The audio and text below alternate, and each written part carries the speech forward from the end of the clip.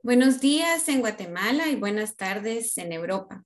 Hoy eh, me da mucho gusto iniciar esta serie eh, de nuestro blog institucional del Leuven Institute of Criminology, que hemos denominado Guatemala, conmemorando los 25 años de la firma de los acuerdos de paz. Eh, y para esto nos vamos a enfocar en el área de justicia transicional y derechos humanos, eh, para esto tenemos como invitado especial el día de hoy al licenciado Ramón Cadena Rámila. El licenciado Cadena Rámila es abogado en derechos humanos con más de 30 años de ejercicio profesional, con experiencia en derecho internacional de refugiados, derecho internacional humanitario y derecho internacional de derechos humanos. Se ha desempeñado como catedrático universitario, juez ad hoc de la Corte Interamericana de Derechos Humanos, perito del Ministerio Público en diversos casos de justicia transicional y fungió por varios años como director de la Comisión Internacional de Juristas para Centroamérica. Actualmente asesora a varias comunidades en el derecho de acceso a la justicia. Muy buenos días, uh, licenciado. Es un gusto para mí tenerlo eh, acá con nosotros eh, porque lo admiro mucho por toda la labor que ha llevado a cabo en Guatemala y también porque fue mi catedrático. Eh, si quiere, vamos a empezar de lleno eh, ahorita la, entrevista, eh, hablando sobre las instituciones de, los acuerdos de paz. los acuerdos de paz crearon una serie de instituciones como lo son la Secretaría de la Paz y el Programa Nacional de Resarcimiento. Sin embargo, una de las primeras acciones que llevó a cabo el presidente Yamatei luego de ser electo en 2020 fue derogar los acuerdos gubernativos que las crearon, argumentando una especie de fusión de algunas de ellas en una sola institución a la cual denominó Comisión Presidencial por la Paz y los Derechos Humanos, COPADE. ¿Qué opina usted al respecto, licenciado? Gracias, Mariana, y gracias por eh, la introducción que ha llevado a cabo. Y, me alegra mucho que allá en Europa estén estudiando este tema de los acuerdos de paz en Guatemala. Eso me parece fundamental, así como la justicia transicional también. Eh, bueno, yo, yo diría que eh, la, la paz, el proceso de paz en Guatemala necesitaba de instituciones al igual que en el caso de, los derechos humanos, ustedes saben, necesitan de instituciones nacionales en derechos humanos y que tienen una serie de, estándares internacionales que hay que seguir y que deben de cumplir estas organizaciones nacionales de derechos humanos. Ahora, en el caso de la paz es algo similar.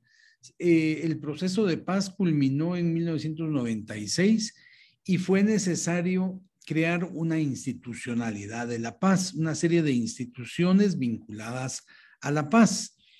Eh, es así como podríamos decir que después de casi 25 años se termina de crear la institucionalidad de la paz.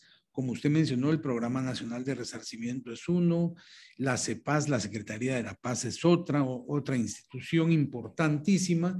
Y entonces, eh, eh, eh, resulta que estas instituciones eh, se, se, terminan de configurar con la ley marco en el año 2005, que es una ley aprobada por el Congreso. La ley, la ley marco crea el Consejo Nacional de los Acuerdos de Paz, que es otra de las instituciones básicas que era, que, bueno, que debería de funcionar y efectivamente eh, sin embargo, desde el inicio de la firma de la paz, desde el 96, apenas firmada la paz y ya empezaban a bombardear el proceso de paz, a atacar el proceso de paz. Eh, podemos, eh, por ejemplo, citar el, el caso de la, de la consulta popular que no se ganó, el Ejecutivo no hizo nada por promover esa consulta para lograr reformar la Constitución y crear un nuevo modelo de Estado. Eh, podría señalar también el caso de la justicia agraria, eh, que era necesario crear un acuerdo, eh, crear un, tribunales agrarios para resolver la conflictividad agraria por la vía de la justicia y no se aprobó porque eh, fue atacada por un, fue presentada una, una acción por medio eh, de la, del CACIF, por medio de la justicia ordinaria, y entonces separaron los, la creación, separó la creación de los tribunales agrarios. Fue otro de los ataques fuertes al proceso de paz. Y también eh, sabemos que los acuerdos de paz creaban la obligación de, de, aprobar una nueva ley de orden público que nunca se ha aprobado. Entonces, el gobierno de Yamatei abanderó estos ataques al proceso de paz y tuvo como un asesor al señor Arenales Forno, que es un tipo especializado y conoce el tema. Entonces, él se encarga de diseñar una estrategia en contra de los acuerdos de paz. Y Jimmy Morales, ustedes recordarán cómo eh, defendió la, defendió, pero fuertemente, eh, el principio de, las, de, soberanía absoluta de los estados, es decir, tratando de quitar de enfrente todo lo que era eh, la cooperación internacional en materia de paz y en otros campos de derechos humanos. Bueno, pero ese fue Jimmy Morales que abanderó esta lucha. Yamatei, como usted lo dice muy bien en su pregunta, Yamatei, al tomar posesión, una de las primeras medidas es afectar la institucionalidad de la paz. Era lo que faltaba bombardear la institucionalidad de la paz. Se afectaron los, el, cumplimiento de los acuerdos, los acuerdos sustantivos, pero la institucionalidad de la paz no había sido atacada, pues Yamatei inicia un proceso en contra de la institucionalidad de la paz. ¿Y eh, en qué consistió este ataque a la institucionalidad de la paz? Bueno, el PNR, por ejemplo, el Programa Nacional de Reparación, eh, que se traslada al Ministerio de Desarrollo Social, el MIDES. Y esto las víctimas lo vieron como un ataque serio, porque el Programa Nacional de Resarcimiento, el Programa Nacional, el PNR, eh, como su nombre lo dice, hay que tomar medidas de reparación por todos los daños causados, no es una estrategia de desarrollo. Entonces era totalmente incorrecto que se trasladara al Ministerio de Desarrollo Social. Y la CEPAS, que era la Secretaría de la Paz, la el ente del Ejecutivo encargada de impulsar los acuerdos de paz, es, eh, es anulada, es, eh, podríamos decir, disuelta. Y esto significó también un ataque grande. ¿Qué sucede entonces? Disuelven el PNR, disuelven la CEPAS, pero el gobierno de Yamatei crea la COPADE, la Comisión Presidencial para eh, eh, los acuerdos de paz, para la aplicación de los acuerdos de paz. Y esta COPADE reúne o se supone que fusiona, como usted lo, menciona en su pregunta, se supone que fusiona diferentes temas. Pero imagínese usted, la COPADE fusiona el tema de derechos humanos, el tema de la paz y agrega un tema que es el tema de la conflictividad social. Además agrega un cuarto tema que es la vinculación entre el Ejecutivo y el Procurador o Procuradora de Derechos Humanos. Entonces, eh, incorpora toda esta temática a la COPADE y lo que, lo que hemos podido ver es que la COPADE no logra cumplir con su mandato. Tiene que observar los acuerdos de paz o promover la aplicación de los acuerdos de paz, tiene que velar por el respeto de los derechos humanos y tiene que también hacer un análisis de la conflictividad social. Por Dios santo, antes la COPREDE, que es una comisión presidencial de derechos humanos que surgió del diálogo de paz, no de, lo, no de un acuerdo de paz, pero sí del diálogo de paz, eh, eh, la COPREDE solo se encargaba de velar por el respeto de los derechos humanos desde la visión del organismo ejecutivo. Entonces, la COPADE tiene un mandato ahora tan amplio, tan amplio, que no cumple con su mandato, de tal forma que eliminó la CEPAS, Yamatei, elimina la CEPAS. El Programa Nacional de Reparaciones lo traslada al Ministerio de Desarrollo, lo cual es incorrecto. Y fusiona el tema de derechos humanos, el tema de la paz y el tema de la conflictividad social en la institución COPADE.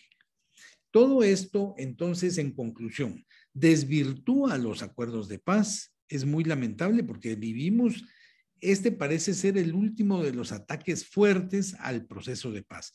Desvirtúa eh, la institucionalidad de la paz, eh, establece un, mecanismo eh, que les es más fácil cooptar a las instituciones del Estado, porque ahora hay que cooptar a la COPADE, que tiene esos tres grandes temas, y, no está haciendo nada la COPADE, en realidad. La COPADE actualmente no hace absolutamente nada. Y luego eh, estudia, se supone que debe de estudiar la conflictividad agraria, pero no lo hace para que lograr el respeto de los derechos humanos, sino más bien lo está haciendo para reprimir a la gente. Va a estudiar la conflictividad agraria, la criminalización, o los lugares en donde hay conflictividad agraria, pero con el objeto de reprimir más a las personas. ¿Qué falta entonces en, toda esta política antipaz o contra la paz? Lo que queda por delante, que ya lo ha anunciado el gobierno, pero que queda todavía por materializar, es una ley de amnistía total que le dé perdón total a las personas o funcionarios o miembros del ejército o miembros de entidades privadas que cometieron graves violaciones a los derechos humanos durante la guerra. Eh, toda esta reforma la hace violando la Constitución y le digo, Mariana, hay varias acciones de inconstitucionalidad en contra que la Corte de Constitucionalidad, en lugar de juntar todo, en lugar de acumular todos los expedientes en su, concepto de acumular expedientes, expedientes acumulados tales, tales y tales, todo, en lugar de acumular todos los expedientes de la paz y resolver eh, de acuerdo al, interés común de la población, eh, lo hace más bien al contrario, violando la constitución y la Corte de Constitucionalidad no resuelve o por lo menos ha resuelto en una forma desordenada. Y nosotros presentamos una acción y le soy sincero, al día de hoy yo ya no recibo más notificaciones, no sé qué está pasando con ese expediente, no sé qué sucedió. Eh, es decir, que estas inconstitucionalidades lo que van a hacer es a provocar más conflictividad social, más violencia, más descontento y más frustración en la población. Muchas gracias, ah, licenciado. pasando a hablar ya en concreto de, ciertos casos paradigmáticos eh, de justicia transicional, como lo son el de Sepursarco y el reciente de las mujeres Achí, sobre violaciones y esclavitud sexual de mujeres indígenas por parte de las fuerzas militares en la época del conflicto armado interno. Em, sabemos que el éxito de estos casos eh, se debe a diversos factores convergentes, por ejemplo, el apoyo de las organizaciones de la sociedad civil. Ah, ¿De qué manera eh, esta desinstitucionalidad eh, de la que, la que nos hablaba afecta el acceso a la justicia transicional de las mujeres indígenas? Mire, sí, definitivamente que afecta. El cambio de la institucionalidad de la paz afecta directamente, como ya lo mencioné, al Programa Nacional de Resarcimiento. Y eh, definitivamente que va a afectar estos casos el mensaje que está dando el presidente Yamatei es muy negativo. Y si además agregamos a esto el hecho de que el mandato de la CICIG no fue prorrogado, pues los jueces tienen miedo, se sienten solos y claro que va a afectar el acceso a la justicia de la población indígena y de las mujeres indígenas, definitivamente. Usted sabe que la, la reparación es es decir, el concepto de justicia es, en primer lugar, establecer la verdad, la verdad de los hechos. En segundo lugar, busca también una condena a las personas que son responsables de esos hechos. O sea, en primer lugar tenemos la, la, verdad, conocer la verdad. En segundo lugar, la justicia, hacer justicia. Y en tercer lugar, la reparación de los daños. Bueno, este cambio de institucionalidad, ya lo dijimos, va a afectar y afectó el Programa Nacional de Resarcimiento, es decir, que estas víctimas eh, se les va a afectar seriamente la reparación de los daños, definitivamente que sí. Y si tomamos en cuenta que la CICIG ya no está en el país, podríamos pensar que se le va a afectar aún más porque los jueces van a tener menos independencia e imparcialidad. Muchas gracias, uh, licenciado. Y hablando, siguiendo eh, con, eh, el caso de, casos de justicia transicional, el que le dio la vuelta al mundo unos años antes eh, que estos casos anteriormente mencionados fue el caso del genocidio Ixchil en contra del ex caudillo Efraín Ríos Montt.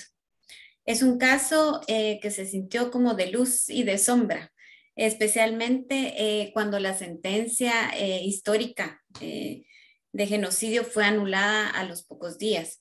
¿Qué opina usted y qué aspectos de esta sentencia podrían ser aún relevantes? Sí, mire, sí es muy importante. El caso de genocidio, el primer caso de genocidio es muy, muy importante. En primer lugar, yo diría que este caso demostró que sí se puede luchar en contra de la impunidad. Imagínese usted, puso en el banquillo de los acusados al general Ríos Montt. Y eso fue, pero ejemplar, la sociedad veía a Ríos Montt en el banquillo de los acusados, teniendo que responder a un interrogatorio que le hizo la parte acusadora. Es decir, eso, eso es, ese era un ejemplo de cómo se puede luchar en contra de la impunidad. Y, claro, en este caso, la jueza Yasmín Barrios jugó un papel fundamental y todo el tribunal, Pablo Chitumul también.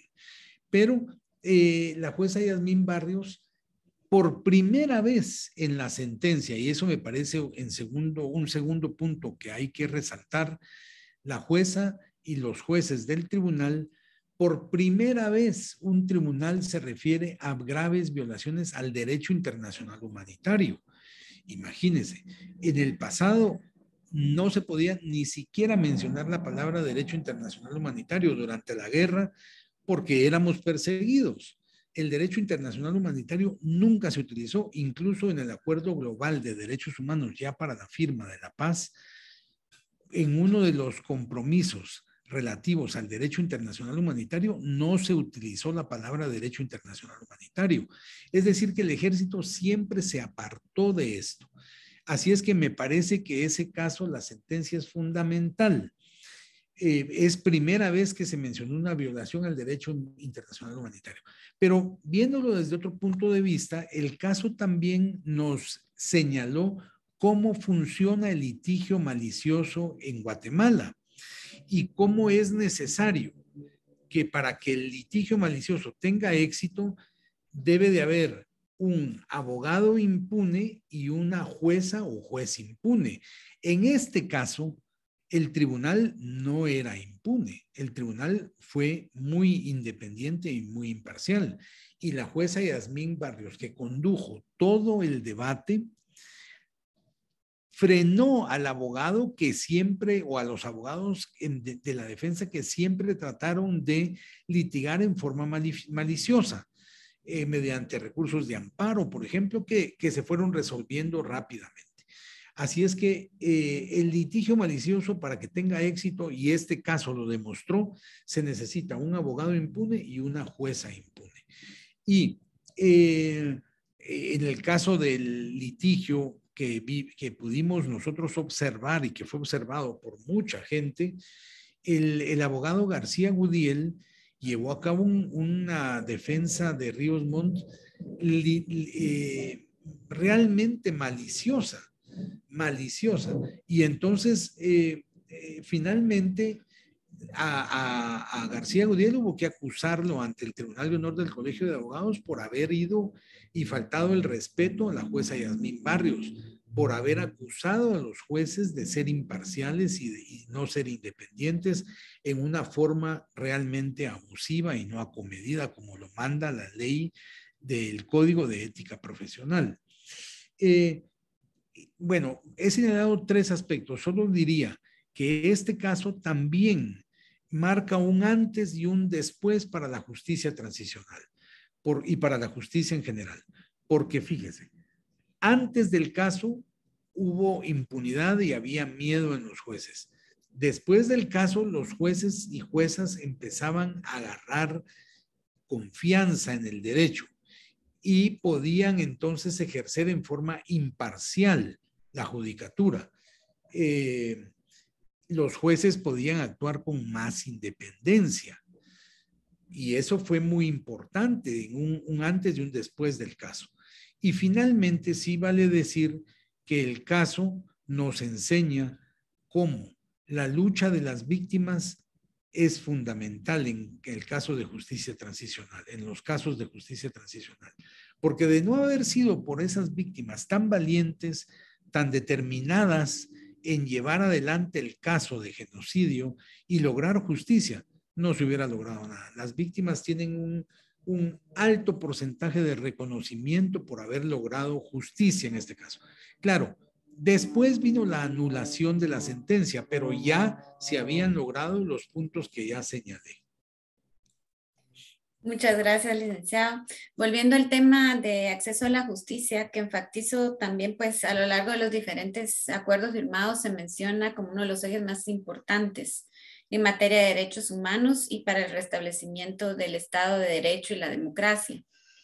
Ah, ¿Cuál es su opinión en cuanto a la actual persecución política y precisamente también lo que usted nos uh, mencionaba, la criminalización de jueces, magistrados, incluso los propios fiscales, por el simple hecho de atacar o perseguir causas que evidenciaron, entre otras cosas, desvíos de fondos públicos, corrupción y ataques a la independencia de las instituciones? Sí, gracias, eh, gracias Mariana. Mire, eh, efectivamente el tema de acceso a la justicia es muy importante para los acuerdos de paz. Y, efectivamente yo sí pienso, tal y como usted lo menciona, que el, acceso a la justicia es un eje transversal que aparece en todos los acuerdos de paz. Quizá en uno se menciona con más claridad o con más insistencia en unos acuerdos que en otros. Pero Fíjese, el Acuerdo Global de Derechos Humanos, que su objetivo principal es luchar contra la impunidad, lleva implícito el acceso a la justicia de la población de las mujeres y de la población mujer y mujer indígena. El, el acuerdo sobre el reasentamiento de las poblaciones desarraigadas, obviamente también, si no hay justicia no puede haber paz y el reasentamiento lo que buscaba es la construcción de la paz. Si las personas habían estado fuera del territorio en búsqueda de protección de otro estado, pues al volver también se requería que hubiese justicia. O sea que ahí también encontramos el acceso a la justicia. En el acuerdo eh, sobre derechos de los pueblos indígenas, ahí se menciona específicamente el acceso a la justicia de la mujer indígena. Y es que en este país guatemalteco, en donde hay tanta exclusión y tanto racismo, obviamente esa exclusión y ese racismo llega también a los tribunales. Yo he visto personas que lo único que tienen es a un intérprete, pero el intérprete, digamos que no se ve que cumpla una, un trabajo a cabalidad como intérprete. Sin embargo, la gente se siente acompañada en lo que es su propio idioma, pero después tiene que ser juzgada entre cuatro paredes, con los jueces que son muy, muy agresivos en contra de la gente y eh, eh, de esta forma se configura una exclusión en la justicia grande. Eh, los tribunales están a una distancia bastante larga de las comunidades, de tal forma que las personas tienen que caminar mucho para poder llegar a un tribunal y en muchos de los casos la, la población indígena se queda sin el acceso a la justicia, prefiere no ir a, los tribunales, no acudir. Ni siquiera se puede eh, cumplir con la justicia que se lleva a cabo en las propias comunidades, en la justicia indígena. Guatemala es un país diverso, es un país multicultural y esto también significa que tiene normas jurídicas eh, de diferente tipo. No es cierto lo que dice el artículo 203 constitucional, que la justicia se administra exclusivamente por la Corte Suprema de Justicia y los tribunales ordinarios. Eso no es cierto. Hay también la justicia indígena, cosa que la Constitución no reconoce, pero la realidad sí lo reconoce. Y eh, en el último acuerdo sustantivo del poder civil y la función del ejército en una sociedad democrática, pues obviamente ese acuerdo que busca la transformación del Estado tiene una serie de normas relativas al fortalecimiento del Poder Judicial y la independencia del Poder Judicial. O sea, en conclusión, sí es un eje transversal en todos los acuerdos de paz. Ahora bien, yo diría que, tal y como usted me lo pregunta, eh, que sí, efectivamente, la criminalización a jueces y a operadores de justicia nos demuestra que el acceso a la justicia todavía hay que reforzarlo muchísimo en el país. Pero además nos lleva al tema de la criminalización y nos demuestra que la criminalización es un mecanismo, es un modelo de persecución por medio de la aplicación del derecho penal, que inventa delitos, inventa procesos inventa casos en contra de jueces, de dirigentes comunitarios, de fiscales, etcétera. Eh, que, y, que nos demuestra que el Estado no protege a las personas, sino que más bien las persigue. Ese sería, en segundo lugar, la criminalización. Y tercero, eh, imagínese usted que después de 25 años de la paz, surge nuevamente un movimiento hacia otros países, de gente que busca la protección en otros países tenemos el caso de más de 10 operadores de justicia que han salido a Estados Unidos, por ejemplo. Pero también tenemos el caso de la comunidad Laguna Larga, que vive en la zona de adyacencia, no ha, pedido refugio todavía del Estado mexicano, pero mire, viven ahí después de más de dos años en condiciones infrahumanas, todo por un desalojo forzoso sin cumplir con los eh, procedimientos legales y el debido proceso. Así es que nos está demostrando entonces esta persecución que ya hay después de 25 años otra vez un movimiento de desplazamiento hacia otro país en búsqueda de refugio. Y eh, finalmente yo diría que expresa esta criminalización, expresa la lucha que estamos viviendo eh, por la justicia y en contra del crimen organizado. Definitivamente que nos ha demostrado que la mafia guatemalteca es muy fuerte y eh, eh, todos estos casos en contra de jueces y operadores de justicia, dirigentes comunitarios, desnudan al país y nos, y nos demuestran y nos reflejan lo que es nuestra realidad. Estamos cooptados por el crimen organizado y hay que hacer un gran esfuerzo para salir de esto. Muchas gracias, uh, licenciada. Todos ah, estos actos ah, que menoscaban, eh, sin lugar a dudas, el sistema judicial del país se llevan a cabo, obviamente, para procurar impunidad a determinados sectores de poder. ¿Cuál cree usted que es el nexo entre la impunidad del pasado que llevaron a cabo los denominados cuerpos ilegales y aparatos clandestinos de seguridad, eh, SIACs, durante el conflicto armado interno? Y la impunidad rampante de hoy y hasta qué medida el rol de la CICI fue relevante en este sentido. Mire, eh, esta pregunta es verdaderamente trascendental para el mundo académico. Ojalá que se pudiera hacer más estudios académicos. Usted que está en la universidad en, en Europa, en Bruselas, eh, ojalá que la universidad pudiera hacer más estudios sobre el nexo entre la impunidad del pasado y la impunidad del presente, porque es un tema pendiente y porque requiere de un análisis académico verdaderamente fino para poder arrojar conclusiones. Para mí hay un nexo entre impunidad del pasado e impunidad del presente. Pero fíjese, la CICIG intentó eh, eh, demostrar este nexo, pero apenas estaba iniciando cuando tuvo que irse. Pero yo diría, para responder a su pregunta, que yo creo que sí hay un nexo, que el nexo es de actores y es de métodos. Es decir, los actores, si no son exactamente los mismos, se mantienen a nivel institucional, se mantiene la presencia y el nexo entre la impunidad del pasado y la del presente por la participación del ejército, por la participación de la iniciativa privada, de los partidos políticos, que son los que causan la impunidad. Claro, entonces ve usted que hay un nexo entre impunidad del pasado e impunidad del presente. Y yo diría Eh, no sé si allá en la universidad donde usted está estudiando han eh, eh, analizado ese triángulo, ese triángulo que básicamente se da en países que están cooptados por el crimen organizado. Y usted ve en, una punta del triángulo, en cualquiera de las puntas del triángulo, está la impunidad, provocar impunidad.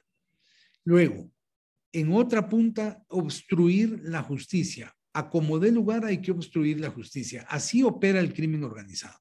Y en otra punta, la tercera del triángulo, estaría la violencia. O sea, eso está comprobado. El crimen organizado opera en los países que están cooptados, provocando violencia, obstruyendo a la justicia y provocando impunidad, o sea, falta de castigo, porque es necesario para que puedan operar. Y este eh, método sigue siendo utilizado en la posguerra. O sea, tenemos mecanismos de violencia, tal vez son mecanismos con diferencias, pero como digo, hay un nexo entre los actores y un nexo entre los métodos se sigue utilizando la violencia, se sigue obstruyendo la justicia y se sigue provocando impunidad. Imagínese usted, o sea, que eh, eh, estamos pasando por una situación gravísima. Y, la CICIG, ya que menciona la CICIG, que es tan importante, la Comisión Internacional contra la Impunidad en Guatemala, es un mecanismo, como su nombre lo dice, es un mecanismo internacional contra la impunidad. Precisamente, si en esos tres triángulos se ve que hay en una punta la provocar impunidad a diestra y siniestra, era necesario entonces, bueno, creemos un mecanismo internacional en contra de la impunidad. Y así fue como surge la, primero la CICIAX y luego se transformó en la CICIG. Eh, era una comisión internacional contra los cuerpos ilegales y aparatos clandestinos de seguridad y se consideró que eh, esta comisión podría tener eh, cierto, eh, asumir ciertas funciones del Ministerio Público que no debe de asumir ningún organismo internacional. Y por eso se hizo un esfuerzo de que no violara la Constitución, porque la CICIAC se dijo que violaba la Constitución. Y entonces se logró en época de Berché se logró la aprobación de la Comisión Internacional contra la Impunidad, de Comisión Internacional contra los Cuerpos Ilegales y Aparatos Clandestinos de Seguridad, pasó a ser una Comisión Internacional contra la Impunidad. Y la CICIG de verdad tuvo éxitos tremendos, pero muy grandes, y demostró que se necesitaba un mecanismo internacional en Guatemala. Los tribunales nacionales no lo pueden solucionar por cuenta propia, necesitan la presencia de un ente internacional. Jimmy Morales no quiso prorrogar el, mandato de la CICIG. rarísimo. Claro, si era parte del crimen organizado, no iba a querer prorrogarlo, porque claro, ¿cómo puede ser que un presidente se oponga a la presencia de una comisión internacional que lucha contra la impunidad, que está teniendo éxitos concretos, crimen organizado, ¿cómo puede ser que no decida prorrogarlo? Eso es algo contradictorio. Eh, debe de haber conflicto de intereses y eso fue lo que se llegó a dar.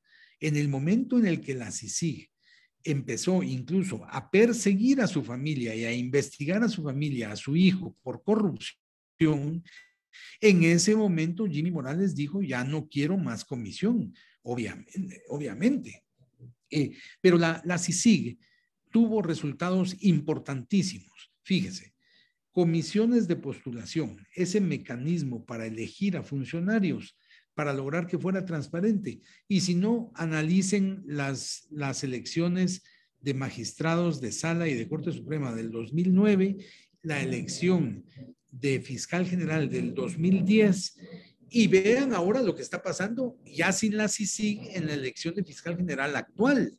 Es tremendo, es tremendo y nos demuestra que hasta el sector académico guatemalteco, y ahí es otro, lo menciono porque la Universidad de Lovaina podría hacer mucho, mucho eh, para influir en estas universidades privadas que sus decanos de derecho, imagínense, Mariana, los decanos de derecho han demostrado que están cooptados y le han dado el puntaje más alto al actual fiscal general que no tiene ningún mérito para tener el puntaje más alto. Bueno, pero en el tema de comisiones de postulación, la CICIG fue muy eficiente. Luego, eh, casos anticorrupción en las instituciones del Estado. La CICIG pasó a ver entonces, después de ya tratar de resolver los nombramientos, pasó a resolver o encontró casos de corrupción de los funcionarios públicos. Y el último anillo que la CICIG estaba investigando y que ya no le gustó al poder político fue cuando la CICIG demuestra por medio de diferentes casos que la corrupción alcanza incluso a los partidos políticos, eh, alcanza incluso al sector privado por medio de las eh, elecciones que lo que se conoce como financiamiento electoral ilícito. En ese momento y en el momento claro en la que el presidente de la República se siente afectado, borra todo y no prorroga el mandato de la CICIG. Imagínese entonces, claro, ese efecto negativo en la justicia transicional. Es un efecto negativo muy, muy grande, muy, muy grande. Es un efecto negativo muy grande y eh, eh, también en la protección de jueces y fiscales. Entonces, el mandato de CICIG ya no es prorrogado y más bien en ese momento se inicia una estrategia regresiva. Le llamamos estrategia regresiva porque está tratando de volver al pasado, está borrando todos los logros que habían habido. Eh, me refiero a los logros que habían habido en las elecciones de segundo grado, a la, agenda regresiva del Congreso de la República, que como ya lo dije, quiere aprobar una ley de amnistía, eh, a los casos de corrupción, porque quieren dejar fuera a todos los funcionarios que están detenidos. ¿Y cuál es el saldo? La Unión Europea ya expresó su preocupación por los índices de impunidad la Comisión Interamericana ha catalogado y ha puesto al país en, la agenda que considera a Guatemala como un país violador de los derechos humanos y veremos qué decisiones toma el próximo Consejo de Derechos Humanos de la ONU, que debería de ser, ojalá, muy drástica, una decisión muy drástica. Si expulsaron a Rusia, que es un país fuerte, ¿por qué no pensar en expulsar a Guatemala del Consejo de Derechos Humanos por no cumplir con los derechos humanos. Todo esto, entonces, no, lo, la conclusión es, ¿qué futuro tenemos? ¿Qué futuro tienen nuestras juventudes? En Guatemala no hay un futuro de respeto a los derechos humanos si tomamos como base lo que está sucediendo actualmente. Es muy lamentable y creo que el sector académico tiene mucho que decir al respecto. Muchísimas gracias, licenciado. Eh, eso fue un bonito mensaje para terminar ah, nuestra entrevista. Le agradecemos mucho eh, su tiempo y colaboración para con nosotros. Para servirle, y muchas gracias. Muchísimas gracias. Cuando quiera, con mucho gusto. Gracias a usted. Hasta pronto.